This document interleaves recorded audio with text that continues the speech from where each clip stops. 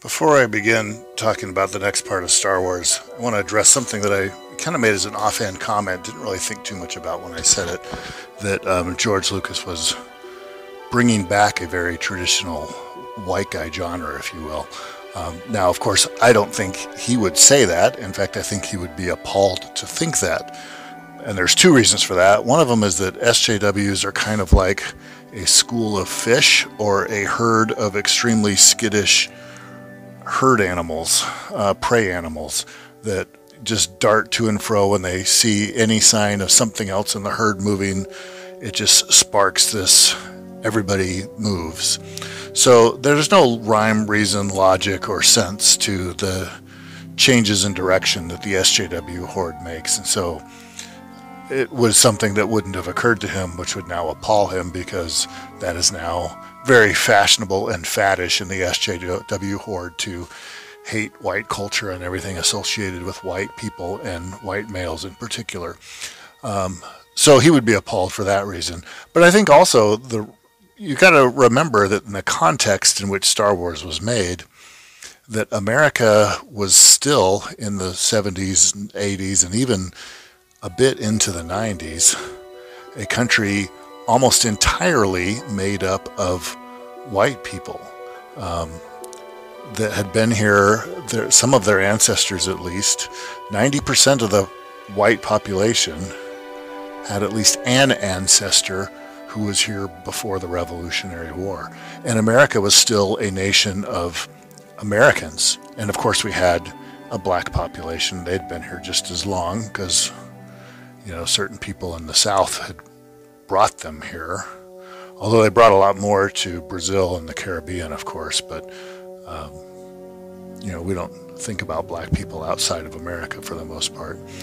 Um, they had been here. There were some Hispanics. Some of them were left over from Nueva España, but there were never really a lot of them here. So this idea that we, you know, stole some territory from is kind of ridiculous. It was, they claimed it, but hardly anybody lived here. It was just empty wilderness until we came and, and built cities here on top of the tiny villages and hamlets that they had had. Um, so America was was a white nation, and so when he brought back something that, and Hollywood for that matter, you got to remember this is long before Hollywood became a huge blockbuster globalist enterprise. Star Wars is usually considered, along with Jaws, which was made by Lucas's friend Steven Spielberg just a couple years earlier, are considered kind of the first blockbusters. Before that, at least in the modern sense of the word, before that, Hollywood made movies for an American audience, and the American audience was, of course, almost was very homogenous uh, culturally for the most part. And people like to say that it wasn't, but but that's not really true. And the data is very clear that America was very homogenous still in the 70s. And since Hollywood made movies for America, and any ticket sales that they got overseas were an added bonus that they're kind of like, hey, that's cool. But they didn't specifically try to do that. And most of those other overseas markets were they watched Hollywood films, but they also had their own film markets. And there was a German film market. There was obviously an Italian film market that had a brief international heyday in the years a little bit before Star Wars with the spaghetti westerns in particular. Um, you know, there were Asian markets. Hong Kong had a market. Japan had a market. George Lucas was a fan of some of the films that came out of Japan, like the Kurosawa films. Um, so, you know, I say that, but it's, it's not as meaningful as you might think because in the context in which Star Wars were, was made, it's like, well, of course he brought back something that was a traditional American uh, genre because everything that Hollywood did was American and it was for Americans. They this was long before the fad started of we must hate America and hate Americans, especially if they're male. Um, so I just wanted to address that real quick. It was a different it was a different con- cultural context, and it was surprisingly significantly different. And I say it's surprising because I'm, you know, I'm a middle-aged guy. I'm, I'm in my late 40s, but I mean, I clearly remember when that happened. I remember Star Wars coming out. I remember the context when the Star Wars movies came out. I remember the context of what Hollywood was doing with science fiction in the wake of Star Wars because it wasn't really that long ago. I mean, I was a kid or a teenager for most of that time. Um, so Star Wars, um, I said earlier that the setting was was not original. It was in fact deliver, deliberately derivative, and but it was very broad, and its influences were even more broad than even just the genre in which it is. And Lucas himself kind of said that there's an awful lot of elements of kind of, you know, California hot rod culture in it, uh, Beach Boys style hot rod culture, which makes sense because he had made American Graffiti. But if you think about it, you know, that's kind of the Millennium Falcon is kind of a hot rod in a way. Um, but there's elements of that. There's elements of the Western. The cantina is very much like a saloon in many regards. And Lucas himself kind of knew that this was the American mythology, if you will. And Lucas very thoughtfully tried to replicate stuff that he knew was resonant in a way that he knew current movies often weren't. And although I've never heard him say this, I think he kind of felt a disconnect from what people were making in the early to mid 70s. And he longed for stuff that was made when he was younger. And that's why one of the reasons he made Star Wars, one of the reasons he made Indiana Jones or, or had it made um, kind of under his direction as executive producer. And, and he was a founding partner there because those were the types of movies that he grew up on and he wanted to revitalize them because he knew that they would connect with audiences. Now, he was also pessimistic and he, you know, always convinced himself that his movies were going to flop. And, but, you know, I, I think he was onto something and he kind of knew it and he didn't really know. He didn't really know because I think the prevailing wisdom was, oh, people don't, people have moved on. They don't want to see this. But, but he kind of felt like maybe he was the odd man out. But I think that, you know, what, what he maybe didn't really realize, but in retrospect should have been kind of obvious, is that Hollywood had become disconnected a bit from its audience. Not nearly as much so as they are right now, but that had happened a bit in the 70s. And when he kind of made something that had mass appeal again, it kind of pulled Hollywood back from the brink of making, you know, ridiculous artsy films that nobody really wanted to see because they had no cultural connection to it at all anymore. Um, people make a big deal out of Lucas following, in particular, the mythic beats of Joseph Campbell. And he did, and I know he did it deliberately even.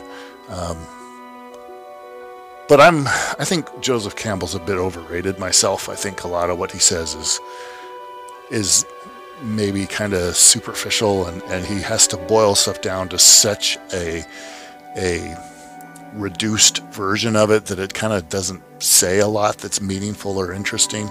So when he kind of tried to follow the beats of Joseph Campbell, I think there were a few minor surprises there, like the fact that Han Solo was a much more relatable, likable, and attractive character, both to men and women alike. The guys kind of related to him more and wanted to be like him. Girls thought he was much more attractive. Luke, who was kind of the protagonist, kind of gradually over the course of the movies became more more bland and kind of you know what's the deal with this guy?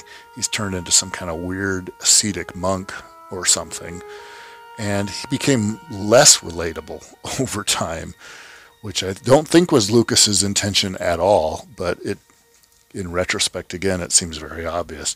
Um, what i think is actually more interesting is the fact that, like I said, he borrowed the setting almost whole cloth from, you know, not from a single source, but there's very little in it that's original. The same is true for the plot, quite honestly. And a lot of people, and kind of dumb people in my opinion, say that Star Wars is a remake of The Hidden Fortress, which is a Kurosawa film. That is patently not true. Um, I think in the very earliest drafts of Star Wars, it more closely resembled The Hidden Fortress, but the movie that we got doesn't very much at all. Um, there's the framing device of the two droids who are kind of like the two peasants Um, but that's kind of a minor framing device, really. And there is a princess who's being threatened and chased around. Um, but that's a very common element. It's hardly unique to hidden fortress. So there's very little of the hidden fortress left. What you instead get is kind of the framing device from Hidden Fortress. Then you get this kind of uh, very standard call to adventure kind of routine with Luke where you know, follows the Joseph Campbell beats very religiously um, for a little while. And then you get um, the running around on the Death Star, which a lot of people have compared to the Alistair MacLean uh, novel and then later movie Where Eagles Dare, where, you know, a couple of British and an American secret agent are running around in a Nazi castle in World War II. Uh, I think that that actually was probably deliberate. George Lucas says, "Hey, let's put a sequence that's basically where eagles dare," and then there was another, which there's another World War II element too. Then the, the whole Death Star attack with the X-wings and stuff is almost almost completely borrowed, as is from uh, a number of old World War II movies like 633 Squadron um, and Dam Busters, both of which have plots that are remarkably similar to the trench run sequence of Star Wars.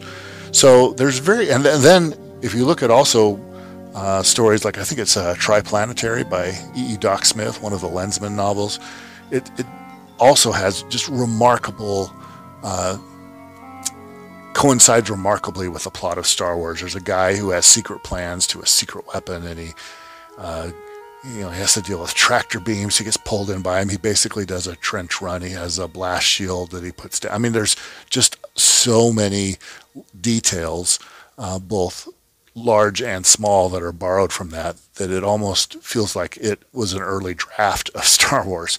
It's that similar in some ways. So it's interesting to me that, that this is kind of what Star Wars is. And I, I don't say that as a knock on Star Wars. In fact, I think that that was a very smart move on Lucas's part, and I think I think that in many ways that's actually the secret of his success is that he he borrowed elements that were tried and true, that were good, that nobody else was playing with, and he said, "Let's bring these back because I like them, and I think that probably some other people will like them, and we'll see how well it does." And of course people really did like him a lot more than he anticipated, and I think he was even blown away by the reception um, to Star Wars. And I think he, he hoped it would be successful, obviously, but I don't know that how. I don't think he ever, in his wildest dreams, imagined that it would become um, one of the most successful movies of all time, um, which then became one of the more successful franchises of all time. Let me go ahead and stop there. I will talk next time a little bit about uh, the rest of the original trilogy uh, that came after this. And maybe I will get into the prequel and the sequel trilogies as well. We'll see how long it takes and, and where I go. And then after that, we'll start talking about some of the expanded universe stuff and where Star Wars has gone in the past and where it seems to be going now.